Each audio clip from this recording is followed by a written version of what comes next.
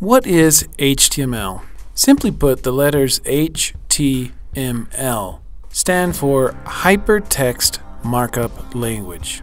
And in this course, we're going to teach you the very basics of HTML so that you know how it works and also so that you can use it. Now what you see here is a basic HTML document. And as you can see, there's some uh, unidentified code if you're not familiar with HTML. So what those symbols mean and how they work, this will be explained in this series. But don't worry, HTML is a very simple language to learn, and throughout this course, we're going to show you just how you can start putting it to use.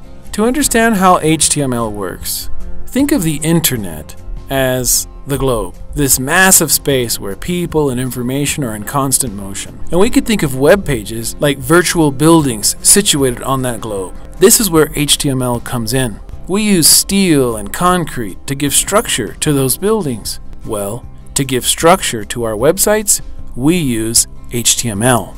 So this is why sometimes HTML is considered a structural language. HTML is not a programming language, but as we mentioned it, it gives structure.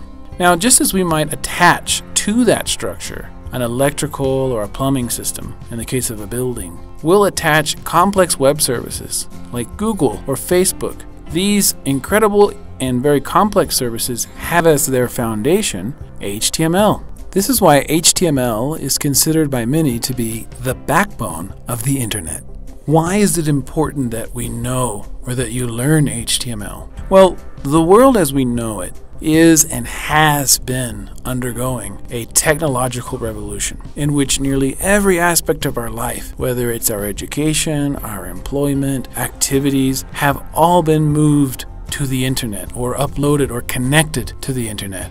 A quick Google search and you will find literally tens of thousands of jobs for people who know HTML. So if you want to remain employable at your current job, which more than likely will at one point or another migrate in some form to an online job, or if you want to find a new job. Now think back to our virtual buildings.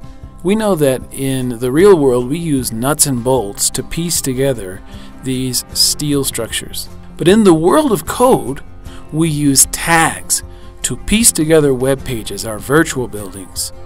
So in our next video, we're going to talk to you about how HTML tags work. The fastest way to learn HTML is to practice it. So the best place to practice your HTML is burntolearn.com forward slash HTML. Here you'll be able to watch each video in this series, as well as practice the code that we're teaching as you watch. So please visit us at burntolearn.com forward slash HTML.